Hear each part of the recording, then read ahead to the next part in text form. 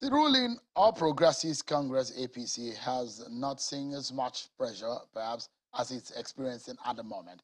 A party uh, now uh, that is working on a tight rope of getting its leadership structure together and the dilemma of decider who becomes the flag bearer ahead of 2023. The governor of Kogi State and one of the presidential hopefuls in the 2023 race has sounded a note of warning to the party on the state of affairs of things and is wanting everyone to come together. Let me allow you to take a listen to the governor of Kogi State. APC is a party of various tendencies. Various political parties came together to form the All Progressives Congress. Out of all of it, I belong to none of them. So my first political party is All Progressives Congress. All Progressives Congress is the only political party I know. And that is the platform that gave me the opportunity to be a governor today. It has been built up to the level we are today, and remaining only one more lap to go. And that lab is the National Convention. It is the most important of it all. If we get it right, then we'll have a solid party. If it is mismanaged and we did not see the booby traps ahead of us, God forbid, may He not spare the doom for us. First important task I want each and every one of us to pray. And pray very hard, sincerely. That the party remains solidly together. The governor of um, Kogi State, Yahaya Bello, sounding a note of warning to the party. Let's get some perspectives to this matter. I'm being joined by a lawyer and a member of the Lincoln's Inn London who is currently serving as a special advisor to the Deputy Senate President.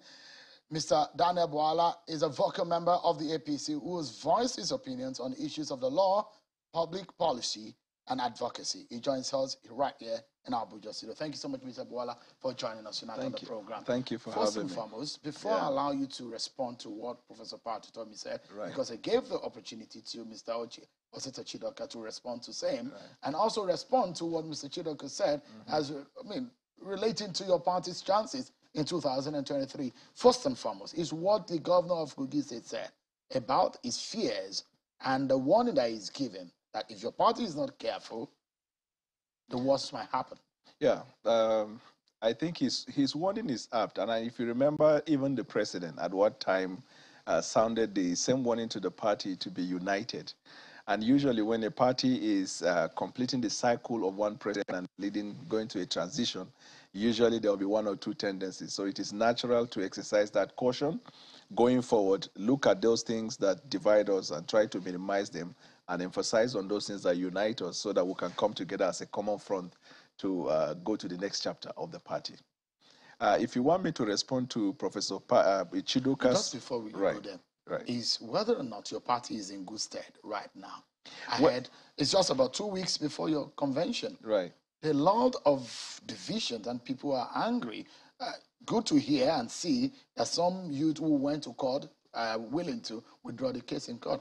But there are several states that are still not happy with the division that they're having and the leadership of those of the party in the states. Yeah, it's natural. And I, th- I think I recall there was a time you asked me the same question when I was here. And uh, my response was that uh, there is always a battle between an incumbent and his predecessor. Because the predecessor would have left a structure, the incumbent will inherit the structure. And anytime you have a Congress coming, there will be a tussle and a fight over who controls the structure in the state. It is not magical. If you go to PDP, it's the same. It is how you manage it. And if you ask for my opinion regarding the management of the crisis, I would say so far the Reconciliation Committee are doing their best. The question is, are we likely to go into the conf- uh, uh, convention with the problem? The answer will be if we take care and we do what we are supposed to do, we're likely to find a consensus. What it takes for a man to make up his mind or to change his mind from a position he's holding One is if you apply, uh, if you appeal to his senses. Two, if you reason with his basis for crying. And three, if you find a common ground to work. This thing can happen in two hours. It can happen in one day. It may even last forever so, if it is not properly handled. So the question is that with your experience in politics and right. what you've seen on the ground, uh, generally in your party, mm-hmm. two weeks before the convention, mm-hmm. your party is not looking at sitting people down because there's different. In fact, the national chairmanship seat of the party, you've not decided whether it's northeast or north central that it will be zoned up until now. Uh, if you so, recall, I mean, for those who say your party is disorganized or it doesn't even know the way to go, are they right in some sense? And they are not right. Why? Because in politics, 24 hours is like three years. In fact, 24 hours is like 10 years. A decision can change. You and I are talking today. In politics, we can reach a conclusion today, by tomorrow morning it has changed. So if a situation looks bad today in politics, by the next morning, it can change. Talking about two weeks to convention, crisis here and there, national chairmanship problem.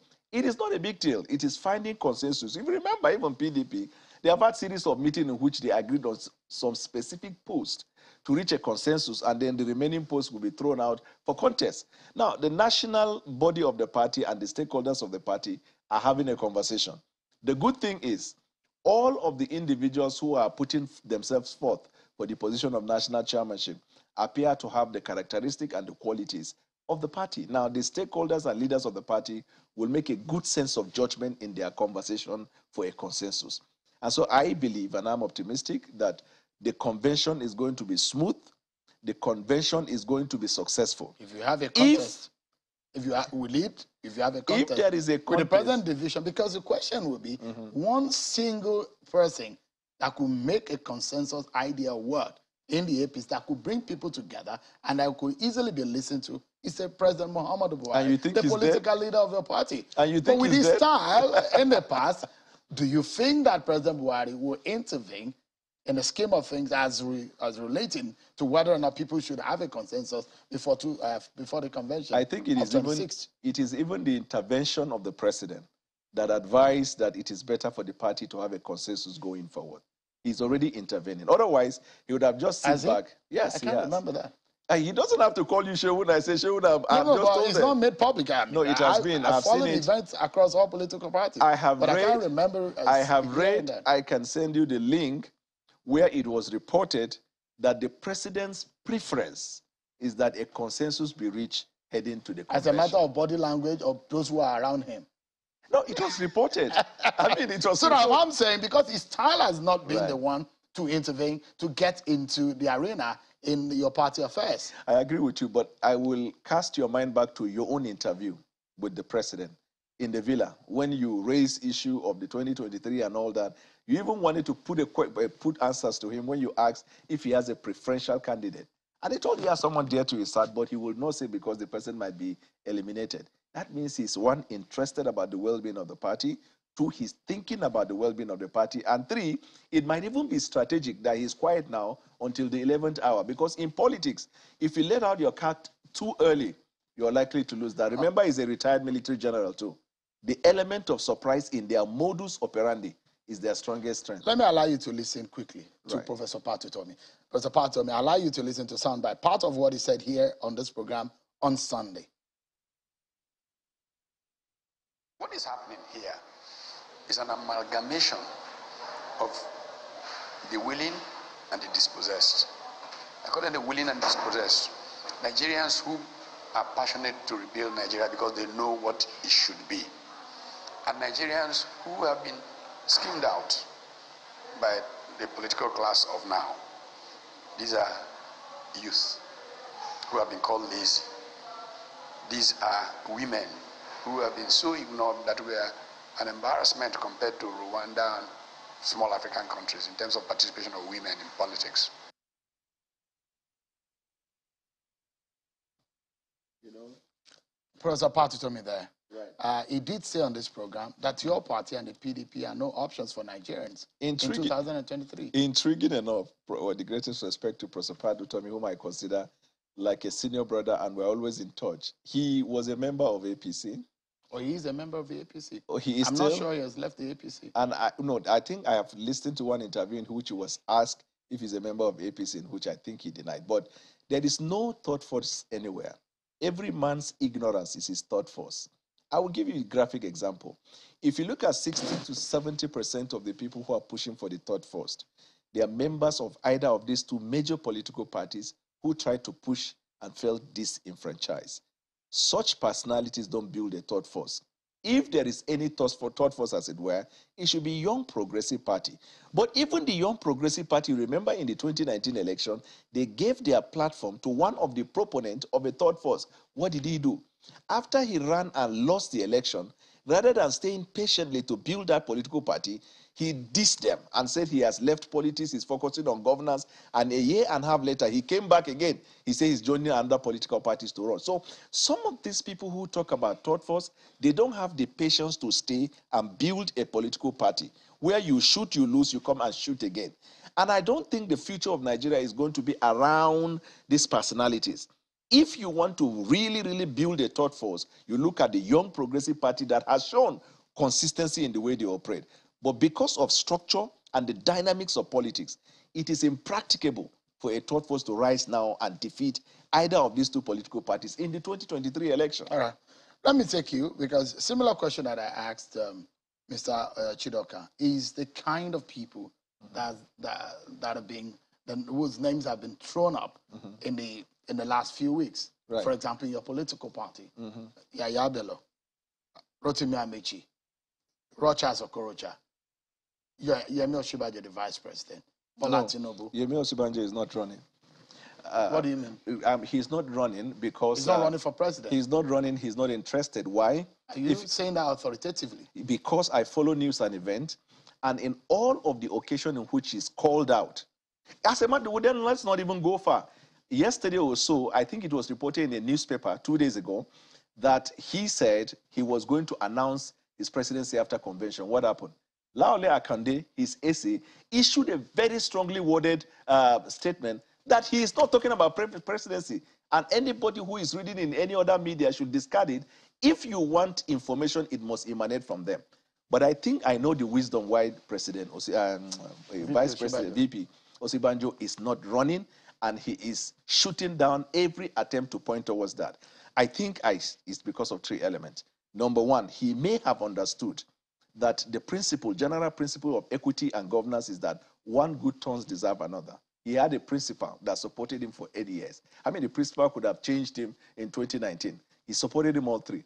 And because Asiwaju had indicated interest, morally, not legally, it will be injurious for the vice president to express interest. That is why he is not. Secondly, the part of the country where he comes from, these are cultural issues. They are deeply rooted in the way they operate. That if somebody has helped you and now has indicated interest, your best bet is to even go about supporting him in the hope that if he doesn't get it, he will now throw his weight behind you. But you will not challenge him. And I think that since the vice president is not interested, it is important that he comes out and downplay his supporters and support uh, Asiwaju. Why? Because if you continue to leave people in limbo, there is going to be a crisis between your supporters and his supporters. So much so that if tomorrow he, the chances are not clear for him, he will not be in a position he will push so, forward. I mean, some of the names have been put on the screen right there. Uh, mm-hmm. Governor Dave Umahi, in fact, the governor of uh, Cross River State, also his name has been thrown. And some of these, and I asked uh, Mr. Osita Chidoka whether or not his party and the kind of names that we have seen are a match for your party. The question now is, are these names and these uh, personalities, are, are, are, they a match for the PDP and the kind of people that we've, we've seen the name thrown Well, the, the biggest magic that PDP can spring and give APC a run for the money if, if, is if you pair Atiku and Governor Wike. Then you are now going to engage in a really basketball finals. But any team other than these two I mean, they, they can't go anywhere. They will probably be struggling alongside why Young Progressive Party and APGA. But in terms of the personalities in APC, and now all of them have a right to run. Constitutionally, they are, they are, they are empowered. Everybody is qualified. But we have now gone beyond just uh, constitutional qualification to look at certain qualifications that are within the prism of politics. Number one, your capacity and your reach. Number two, your political structure. Number three, your capacity to galvanize the people. Number four, whether your voice is being heard. Now, I look at every geopolitical zone, when I look at it from my own point of view, I look at one individual. So, for example, if you look at the Southeast, the person you can look at, if you ask me, is Dr. Chris Ngige. Is not even some of these individuals you're mentioning. For example, Dave Umahi just came in yesterday. It will be difficult for him to command the, this patronage of others. As of course, Chris Ngige, the Minister of Labour, said he is going to run. I think he will. I think he will. If you look at North Central, you look at Governor Yabelo, in his own case, it is even working to his advantage in the sense that nobody else in the North Central is also asking for it. So he stands tall and he stands alone. So he's more likely going to convince others. If you come to the Northeast, Northeast is poised for vice presidential. That's why nobody is putting himself forward. If you go to South-South, you look at uh, uh, Rotimi Amaechi.